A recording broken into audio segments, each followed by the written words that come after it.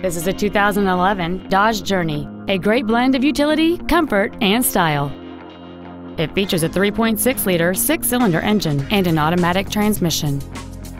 All of the following features are included. Bluetooth cell phone integration, keyless ignition, a premium audio system, aluminum wheels, a leather-wrapped steering wheel, rear curtain airbags, rear seat child-proof door locks, a power driver's seat, air conditioning, and this vehicle has fewer than 20,000 miles on the odometer. Call or visit us right now and arrange your test drive today.